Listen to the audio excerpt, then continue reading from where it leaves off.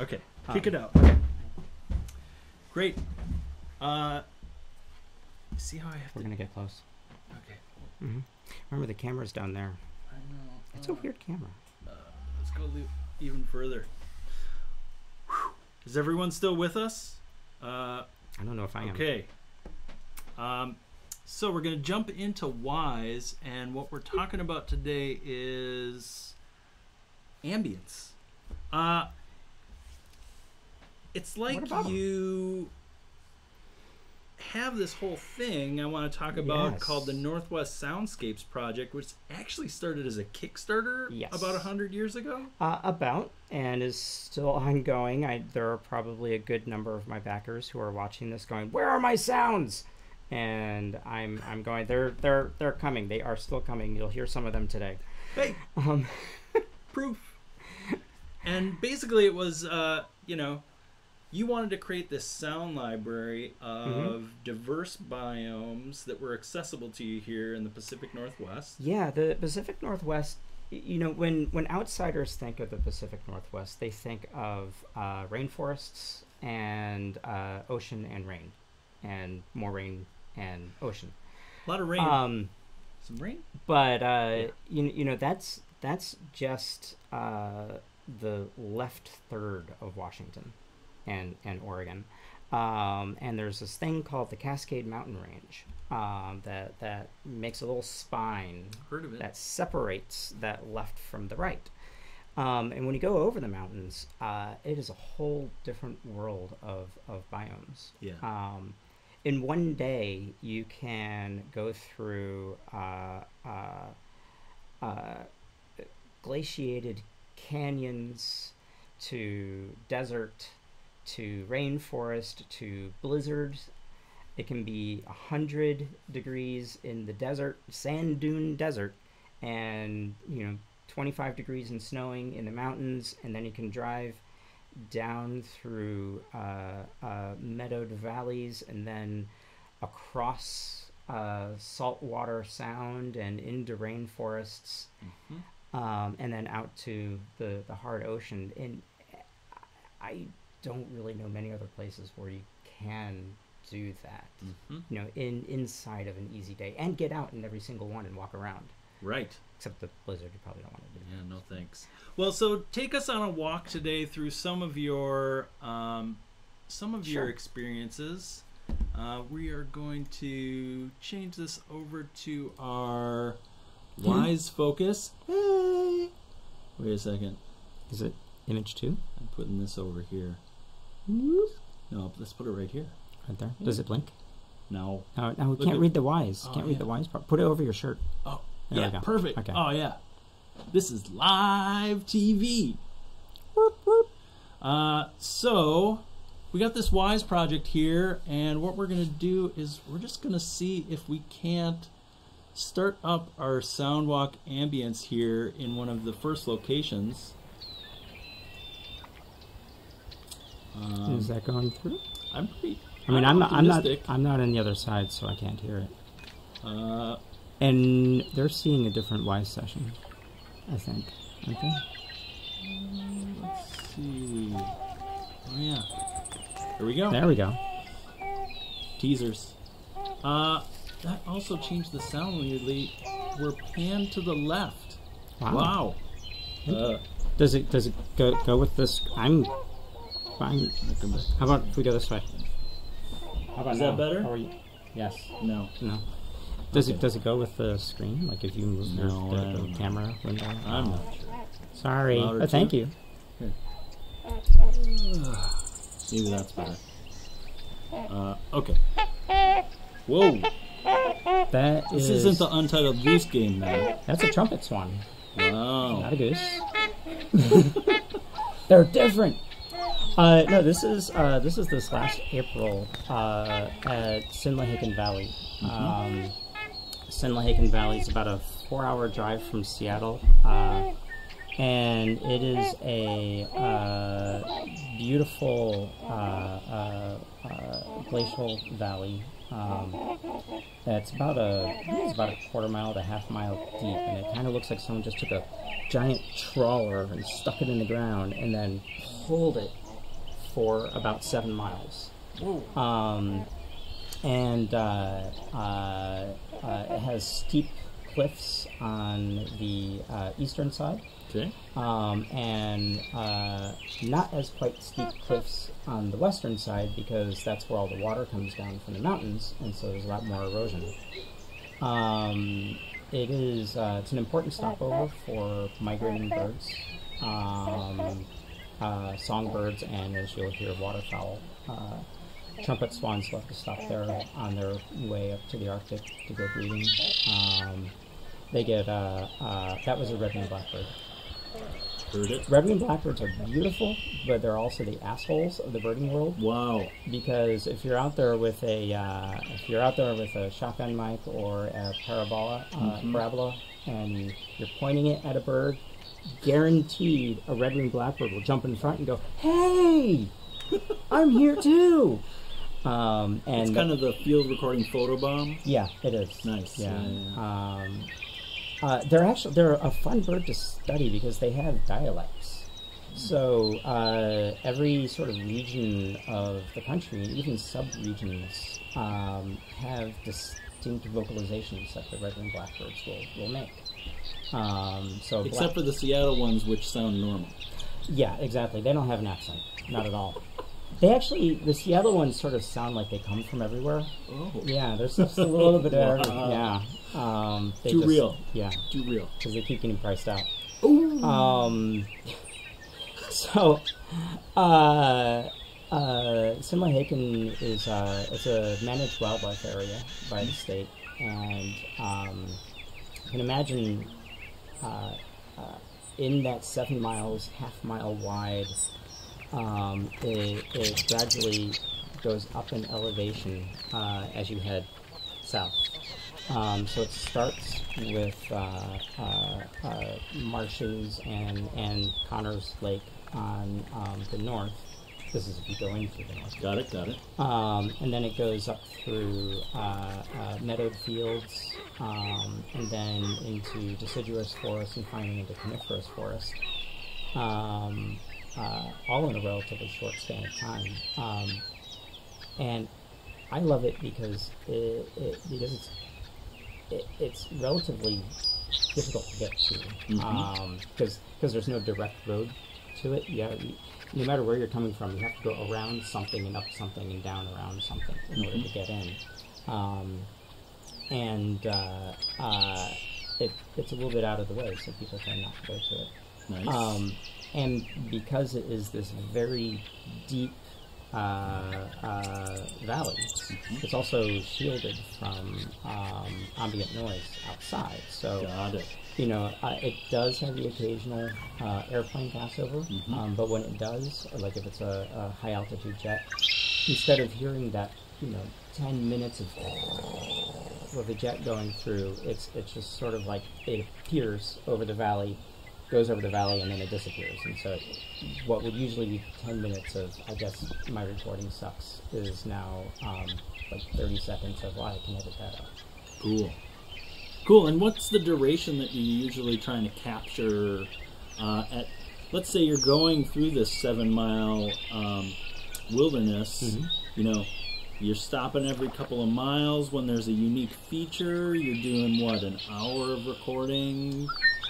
Uh, I will do that when I'm looking for a place. So, uh, what I really endeavor to do is to find uh, a really interesting area, hmm um, which is kind of difficult because an area can be interesting during the day, but not at night. It can be really interesting at night, not during the day. Right. Um, but I like to find a really interesting area uh, and set up camp and stay there for a day or two.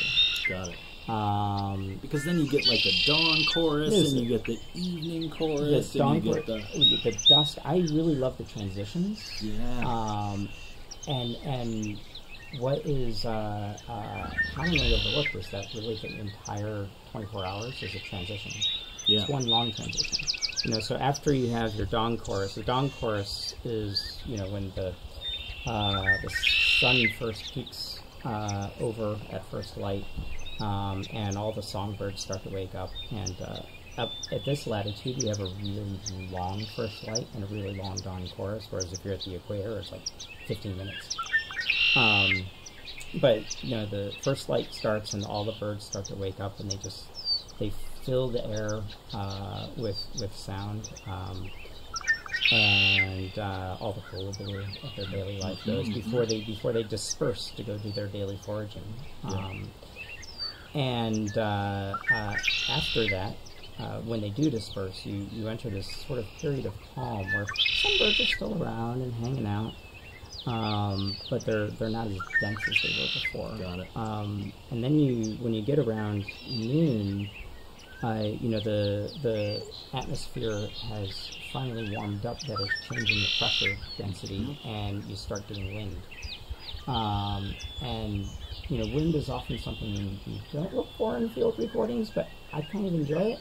Um, uh, partly because it tells me what time of day it is, unless there's a weather event going on. Right.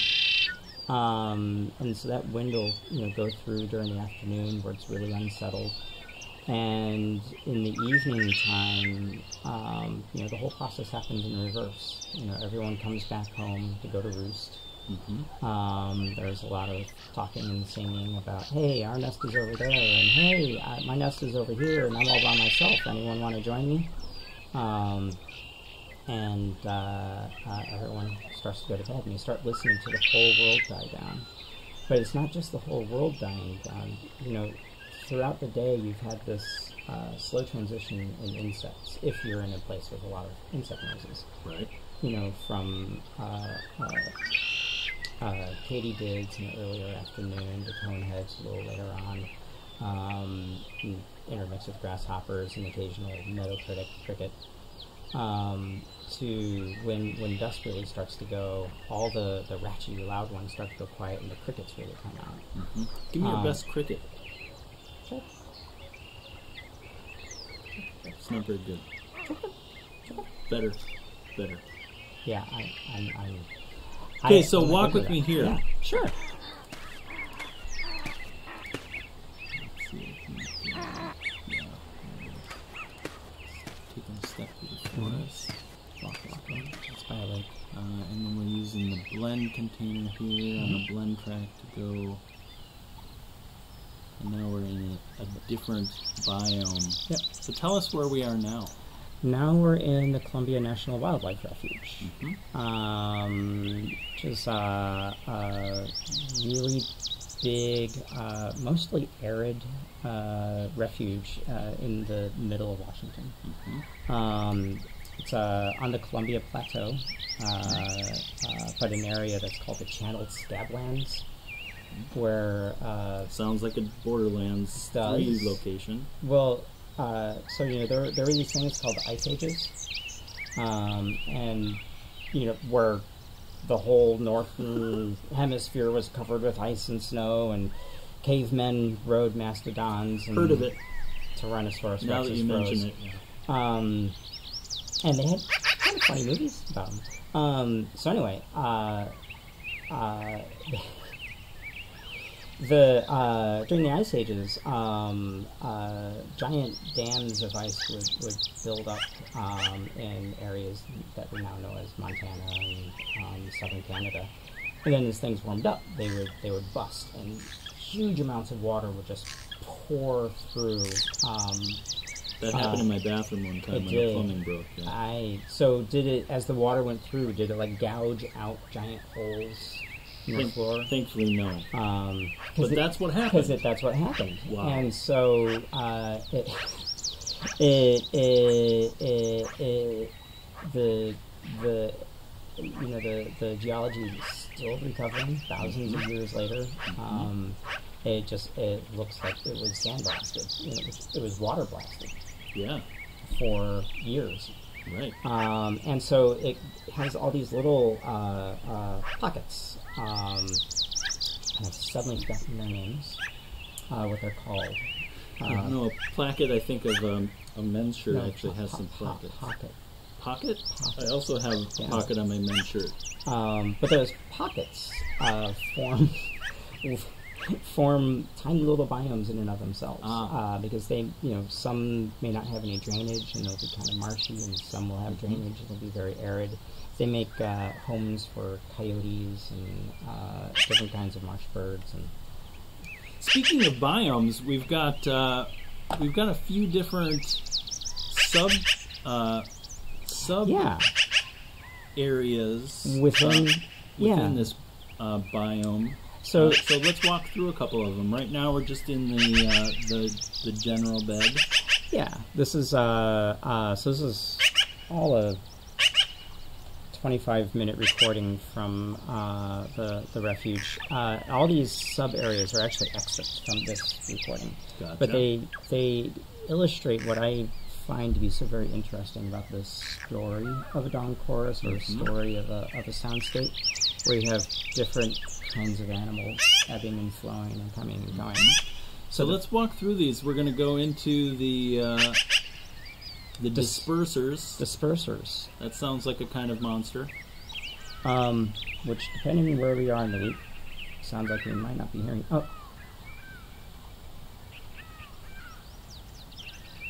No, we might not hear them. I didn't time the loop right, but they're in there.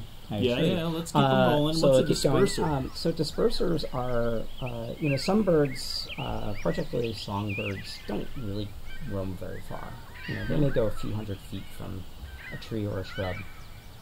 So if you hear these gulls, these gulls are dispersers.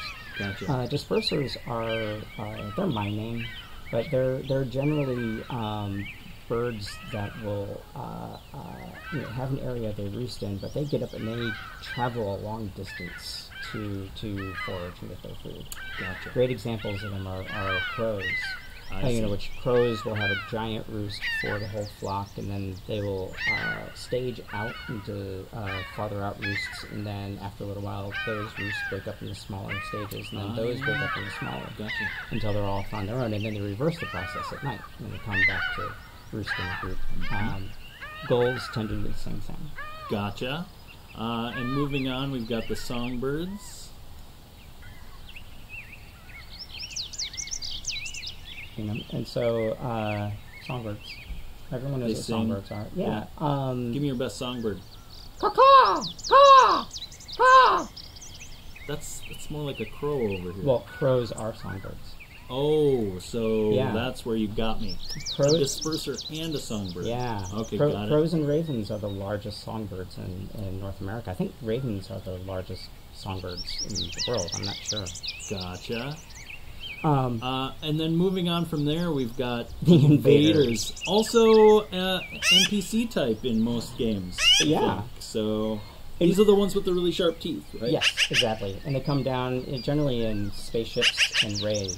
Uh, you can hear them firing the rays right there. Um, so that's a that's a magpie. Um, and invaders are what I call uh, birds that really don't have an area that they go to. They just sort of mob here and then they mob over here, mob over here, and they generally annoy everyone. And so when when they enter an area, everyone else just kind of goes fine, and they go back. Kind of stay out of the way for a little bit until the, the invaders leave. Yeah. Um, so yeah, magpies are a great example of that. Wow, that is invading my ear space Mhm. right now. Absolutely. Uh, so moving on, we've got pathfinders. Pathfinders. So um, uh, uh, flocking birds don't just flock in the sky, but they also flock on the ground. So things like quail and uh, um, and peacocks uh, or uh, uh, pheasant um, Mhm. are and, and turkeys are flocking birds, even if you know, they do that on the ground. So quail, that's a male quail that's going. I can't go that You might have been a male quail in a past life. That's There we go. pretty good. Um, so male quail will uh, uh, lead their uh, mostly female flock um, to you know wherever it is that they're going to go for feeding or for you know for sleeping for the night. And so that call is basically the "Hey, keep up, I'm moving" call that they, that they make. And so I call them pathfinders. Yep. But after that are the followers. So the females will will be carrying along after that. Gotcha. So this is the Got it. Got it. All right, so they're following the path followers following the Follow pathfinders. pathfinders. Yeah, both flocking birds. Yeah. Yeah, Well, the well, the, they're the same bird usually, so that right. yeah, they have the leader, the pathfinder, Nice, and the path followers. Yeah, yeah, yeah. followers. That's those. But- they're but- on Twitter, right? Yeah, but they usually. So the the reason I keep them separate in my mind though is because the the followers aren't right around the leader. But like the finder or leader will go ahead Mm. and then call the all clear, and then the followers will work their way across to where he is, Right, and then they kind of hide and stick around there while he goes out and finds a new place. And so we slowly follow him around from zone to zone. Nature. I know. That's great. They have personalities and activity and all kinds of stuff. Sounds like they also get into accidents. We've got the accidentals here at the end. Accidentals are Like, whoops, I fell in the pond. Or, accidentals are when uh, when I've got a long soundscape that I've recorded, and there there's a bird that just kind of comes and goes. Gotcha. You know, like don't ever hear it in the same spot again. So like I hear it one day and I can go back there for days at a time and you don't hear it coming back. Gotcha. Um, and so I just call them accidentals. You know, whether it's a wren, like this uh, one that's kind of going back. Um, it's all one bird. Whoa. Easy. Yeah. Kind of chattery. Many birds are. Yeah. Okay. Great. Uh, and these are representative of individual biomes in that seven mile stretch, pockets even. No, so this th- this is a this is the Columbia National Wildlife Ah. Refuge, um, and this is actually just one location Okay. within the refuge. Gotcha. Um, I was set up alongside uh, one of the lakes. I don't remember which one. Um, I have that metadata at home. Oh, sure. Um, but yeah, so all those segments are they are part of the larger recording that you were listening to Ah. at first. Excerpted from, what would you say, 24 hours of recording? Like 72 hours? How many hours of the of this? Well, that original recording was about two and a half hours, okay, okay. um, and then the tracks that you have in here is a twenty-minute cut down, Gotcha, and then these are cut downs from that. Gotcha. Gotcha. And so we've got these looping. Mhm. Uh, we've dropped them into uh, a blend track. We've Yep. been just cross fading them based on the Time of day. pulse parameter. Yes, it was just really, it was really just hanging around, and I grabbed it to use it. Um, so let's take a step back up to the parent blend track, and maybe take a footsteps Walking. and move. We're, we're gonna walk over the mountains Let's go. Where are we going? To the uh, to We're uh, uh, leaves. over a river in Ooh, yeah. the forest. Here we go. Some So water. we're, yeah, so we're gonna go through the sound. I'm walking through it. Yeah, and then we end up going through forest. Forest. Yeah, I'm gonna go with leaves on that one. Uh, there's a little road that we walk over too. Oh, uh, crystal. Uh, sure, crystal, crystal, Crystal road. Road, Yeah, yep. good. Yeah. And then back into the or Uh, grass. Let's go grass this time. There we go. Okay, perfect. Here we are. We've arrived. Yep. So tired now. Ah, I know. It's hard work. It's It hard is. work. Uh, so uh, Bogachil. Bogashil or Bogashell. Mm. I, I wanted to say Bogashil, Mhm. and then I went to Forks and told someone that uh, uh, uh, I was recording up in Bogashil, and they said Bogashel. I You got the inside, okay, the inside right, pronunciation, yes, Bogashel right? is what I meant. Yeah. Um, well, then I went back to Port Angeles and, and I was talking to someone else. And I said, "Yeah," and I was recording to Bogashel. went, there's that. Then you got side-eyed by a local. Shield, Yeah, okay. And he said, uh, "Yeah, Bogus Shield, Shell." I'm like, "Okay, Forks, Port Angeles." Um, uh, so um, Bogus Shield is uh, uh, uh, uh, a glacial river comes down from the Olympic Mountains. Mhm. I think it drains into the Hoh, if I remember correctly. Hoh rainforest. The Hoh, Yep. uh, the Hoh River. The Hoh river, which is It forms the valley uh, Uh-huh. that the Hoh rainforest is based around. Bingo, Bingo. So the, the Olympics have three like really giant rainforests. There's the Hoh that everyone knows. Um, that's uh, Gordon Hempton's uh, One Square Inch of Silence uh, Gotcha. destination. Um, and it's it's of the three major rainforests, it's the easiest one to enter. One because there's a road that goes up pretty far, but it also has a fairly shallow incline on the path, and so it's it's a it's an easy walk. Got it. Um, and uh, it's also the closest to uh, the major uh, highway entry point for the peninsula, so it's it's the first one people stop at. Mm-hmm. Um, next, below that is I just forgot the name. Um, And this is all on the Cool. Olympic Peninsula, right? Yep. Yeah, it's on the on the peninsula. So there's another one below that. I think it's Quileute, uh, which uh, is just is beautiful and lush and uh, dense and relatively easy to hike as the Hoh. But you you have to uh, in, in most of the year you have to ford a river in order to start the hike. And that Ah, proves challenging. got it. Because you ever talking waders or like a kayak yeah, or I've, what are we I've doing? never done it, waders though. Oh, okay. Um, and then below that uh, uh, is the one I actually really like uh, because it doesn't get as many visitors. I like being away from people. Uh, is the Quinault uh, rainforest on the Quinault River, um, and it doesn't get as many visitors because it's in the far southwest part of of the park and the peninsula, um, and so it's it's just not an area where people go by all the time. Um, but it's unlike the Hoh, which has this nice paved road all the way up to the visitor center. Uh, the Quinault's last 12 miles are all gravel road. People are like, I don't want to take my Civic up there. Um, uh, and to top it off, uh, it's also a really nasty hike when you're in. It's it's all switchbacks up and down, really steep. yeah. Uh, if you if you make it though, if you can hike it, it you'll be rewarded with one of the most beautiful experiences you'll ever have. Um, Right. And what so we're hearing is this from is this is from uh, uh, uh, an overlook um, on the Bogachel. So uh, you can hear a faint, faint, faint, distant wash of the river because it's down there on the other side of lots of trees. Um, and uh, I like this area because it just it seems to get this really nice blend of um, varied thrushes, which are the ones going. One. Get the other. Now you're not gonna hear that.